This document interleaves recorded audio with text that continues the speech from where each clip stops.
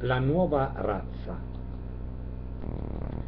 È indubbio che se l'umanità non scomparirà per una catastrofe naturale, cesserà di esistere quando gli uomini si faranno la guerra per fame.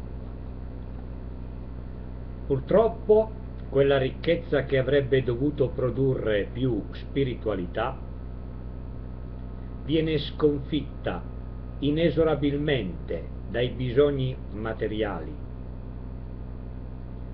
È incredibile vedere l'uomo che si sta autodistruggendo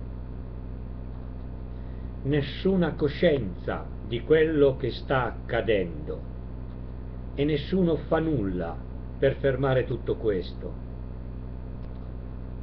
La stragrande maggioranza degli esseri umani vuole questo tipo di mondo. Il cambiamento dell'umanità ha bisogno di molto tempo, ma qui sulla Terra non può accadere perché l'umanità è egoista. Su altri pianeti l'egoismo è stato sostituito con l'altruismo. Forse accadrà anche ai sopravvissuti di iniziare una nuova razza dove sarà l'altruismo il valore.